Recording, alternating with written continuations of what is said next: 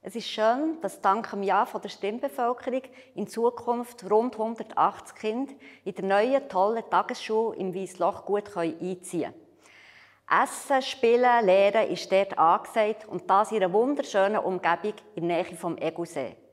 Ich freue mich auch, dass das Kind im Bauernhaus, das rund 400 Jahre alt ist, ein bisschen in die Vergangenheit vom bäuerlichen Leben in der Stadt Bern eintauchen können.